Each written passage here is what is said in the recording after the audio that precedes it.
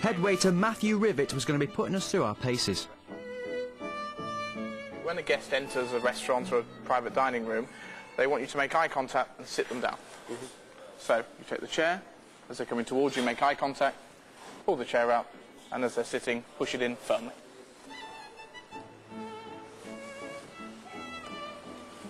Okay, try not to use your feet. Yeah, you've got big, you, strong I arms. thought you hadn't noticed that. This must be sat in front of the guest, and everything is then built out from that. That's that's the um, that's the sauce spoon for the starter. It's got a fish thing. Wrong. No, no, wait, because that is a fish fork, and it That goes with that fork, spoon. And it does go with that So spoon. they That's are the the starter. starter. Correct. So that's for your starter. Take it by the very edge. Hold on, I can't get hold of the napkin. That's the first problem. You, you handled it a little bit too much for my liking. No, Wrong no, bit. it's not a rag doll. It's, when you serve something, it's already on the plate. You serve it from the guest's right, Right. and then you also clear it from the right. This end, we've got a, a brown wholemeal roll in the French style, and a white one in a similar style, and a white roll with sesame seeds. Right. When you go to the left, it's when you're serving something onto a plate that's already there. Good for you, madam. Don't mumble ever.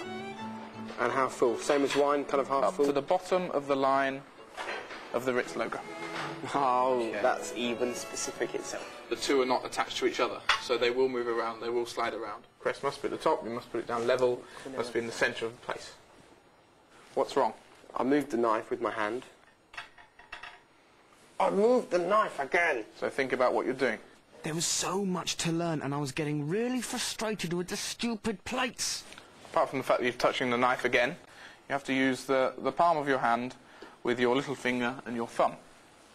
Second plate, you place on top of that, it forms a platform. It should be completely level. That's it. That's how I'm going to go with it. Don't drop a Ritz plate, Barney. This is a f- I've never done like that before, so it feels a bit. It will. Jake seems to be coming out as slightly more confident. He handles the plates and the trays with a bit more confidence. Um, but I think there's a, a bit of uh, competition there which should bring both of them up to a similar level. So we have to heat up the Grand Marnier. It will actually flame at quite a low temperature. It's starting to now, isn't it? There you go. Whoa. We're flaming. Oh, what no. I'll do is ladle it over the souffle, keeping very good control all the time. Okay. There you go. And there it is. It's on fire. Now the tray is quite heavy. Who would like to have a go first? Barney. Why not? So I'll pass it to you with two hands. If you put out one hand, use the other hand to balance yourself straight away, You're joking. and don't let go until you're comfortable. And you've got to, have you got to hold that and pour? Not a chance. I'm not. I'm not joking either. You have, it's all about, well, Have a go at that, mate. I'm not joking. it, it's doable. I'm sure it's doable, but just. You've got to Remember, you've got scalding hot liquids there. It's okay. Coffee, sir? Yes, please. I'm going to be off that way like a shot if that starts moving. You starting to feel it yet? You've got five more of them to do. And then you put the tray down quickly before your arm falls off. Very good. Well done. Swap places. Time for you to pour coffee all over me. I'd love to, sir. I'm going to struggle But with you that. have to remember the waiter's job starts before the meal and laying the table, and it ends after the meal with clearing away and everything in between. You can't opt out of certain things. If the guests would like it, you have to do it. We can do the coffee and tea separately, but as an ideal standard, we'd like to serve all the guests at the same time in a smooth flowing motion. There's no point taking stuff off it. Why are you getting bent out of shape about it? All I'm doing is taking a bit of weight off so I don't drop it. I can't hold that weight. The whole point is we're practicing to do exactly the same thing. No, Try it. That's the worst case scenario. Try it, though. Right then. All right. You should, you should have tried it, though. But I don't feel confident enough to try it. I was a little bit frustrated, yeah, with Jake, because he's... Sometimes it, it's, it's, it's almost like you're not doing your best. I'm doing the best I can, but he'll say something in such a way and I'll go, actually, oh, maybe I'm not, maybe I'm feeling... And I start shying away and going, no, maybe I'm not doing. But actually I am. I'm doing the best I can. It's just that on that particular um, topic or subject or what you want to call it, I, I just couldn't do it as well as Jake and he wouldn't let it go a bit. And I, I was getting frustrated because he's supposed to be working with me. Do you think it'd be a shame not to do it? Well, you do it then. Could you not practice it again and again and again? Not in a night, no. All right. So we'll go with separate tea and coffee. Separate tea and coffee. Okay. I, it was a cop out, and I really kind of, in a non-cruel way, I think, tried to push him to say, just carry the tray, it'll be fine. But he wasn't having any of it. Um, so I'm feeling kind of okay about tomorrow, and I think Barney's maybe a bit more nervous than me. It was all going to plan.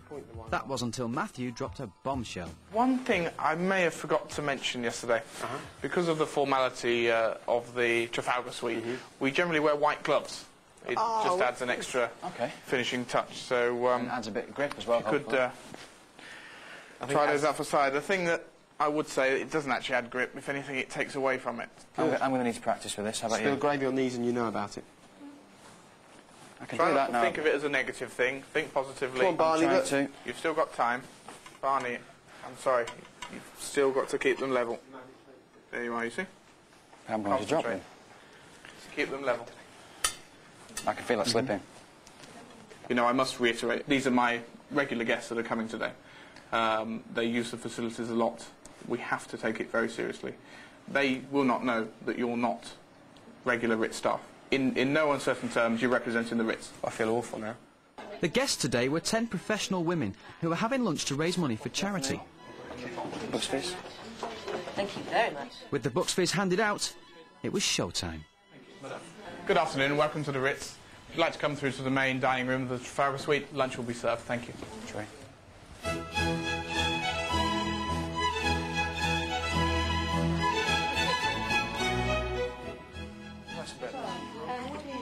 Thank you. Thank you very much.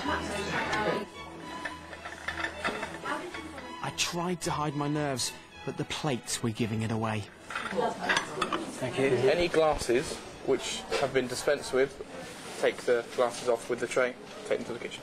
How are we doing, Chris? Now, because the gloves made everything much harder to grip, I was concentrating more on them than the tray. Excuse me, madam. Thank you.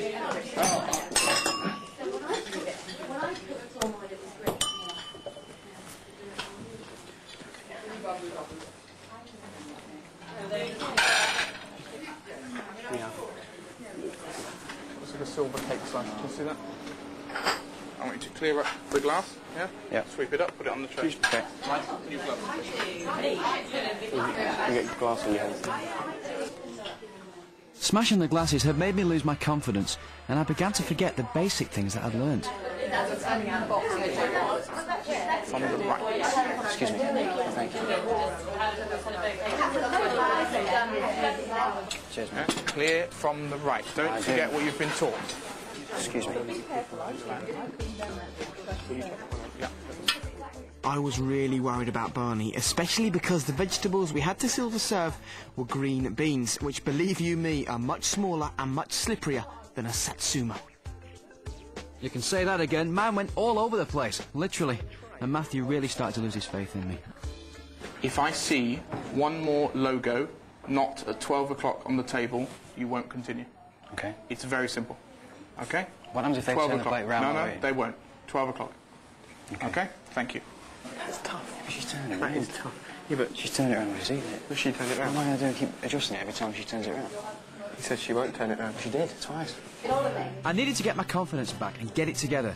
I didn't want this to be a disaster, and more importantly, I didn't want to let Jake down. Well done.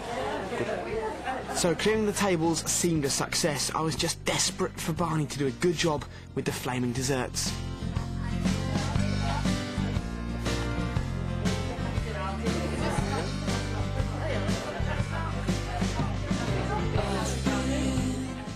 We'd nearly done it. Only one thing left, the coffee. I have to say, I was really glad Barney made us serve the tea and coffee separately.